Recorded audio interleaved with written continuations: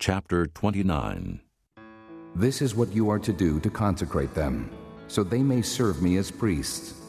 Take a young bull and two rams without defect, and from fine wheat flour, without yeast, make bread, and cakes mixed with oil, and wafers spread with oil. Put them in a basket and present them in it, along with the bull and the two rams. Then bring Aaron and his sons to the entrance to the tent of meeting, and wash them with water. Take the garments and dress Aaron with the tunic, the robe of the ephod, the ephod itself, and the breastpiece. Fasten the ephod on him by its skillfully woven waistband. Put the turban on his head and attach the sacred diadem to the turban. Take the anointing oil and anoint him by pouring it on his head. Bring his sons and dress them in tunics and put headbands on them. Then tie sashes on Aaron and his sons the priesthood is theirs by a lasting ordinance. In this way you shall ordain Aaron and his sons. Bring the bull to the front of the tent of meeting, and Aaron and his sons shall lay their hands on its head. Slaughter it in the Lord's presence at the entrance to the tent of meeting. Take some of the bull's blood and put it on the horns of the altar with your finger, and pour out the rest of it at the base of the altar. Then take all the fat around the inner parts the covering of the liver, and both kidneys with the fat on them, and burn them on the altar. But burn the bull's flesh and its hide and its offal outside the camp. It is a sin offering. Take one of the rams, and Aaron and his sons shall lay their hands on its head. Slaughter it, and take the blood and sprinkle it against the altar on all sides. Cut the ram into pieces, and wash the inner parts and the legs putting them with the head and the other pieces. Then burn the entire ram on the altar.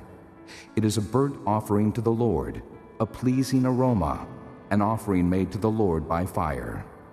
Take the other ram, and Aaron and his sons shall lay their hands on its head. Slaughter it. Take some of its blood and put it on the lobes of the right ears of Aaron and his sons, on the thumbs of their right hands, and on the big toes of their right feet then sprinkle blood against the altar on all sides.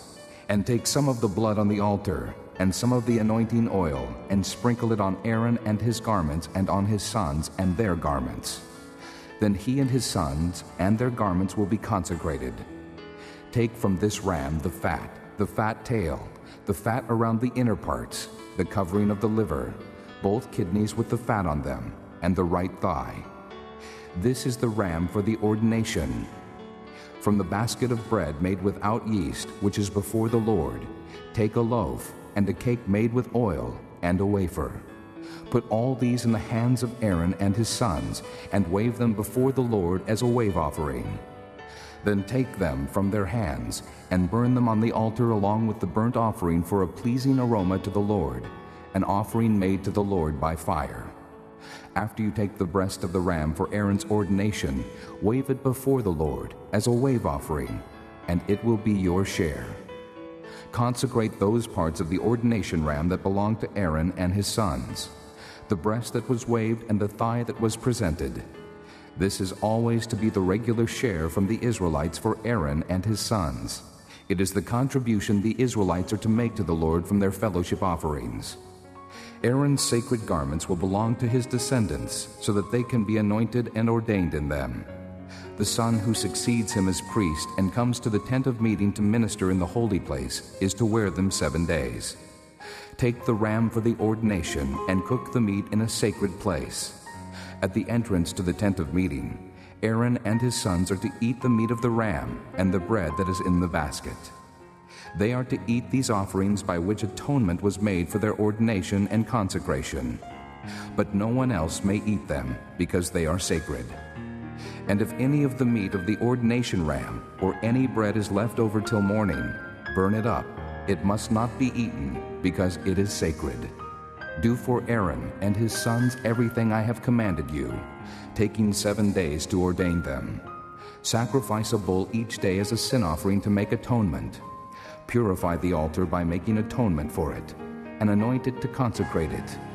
For seven days make atonement for the altar and consecrate it. Then the altar will be most holy, and whatever touches it will be holy. This is what you are to offer on the altar regularly each day two lambs a year old. Offer one in the morning and the other at twilight. With the first lamb, offer a tenth of an ephah of fine flour mixed with a quarter of a hin of oil from pressed olives, and a quarter of a hin of wine as a drink offering. Sacrifice the other lamb at twilight, with the same grain offering and its drink offering as in the morning, a pleasing aroma, an offering made to the Lord by fire. For the generations to come, this burnt offering is to be made regularly at the entrance to the tent of meeting before the Lord. There I will meet you and speak to you. There also I will meet with the Israelites, and the place will be consecrated by my glory. So I will consecrate the tent of meeting and the altar, and will consecrate Aaron and his sons to serve me as priests. Then I will dwell among the Israelites and be their God. They will know that I am the Lord their God, who brought them out of Egypt, so that I might dwell among them. I am the Lord their God.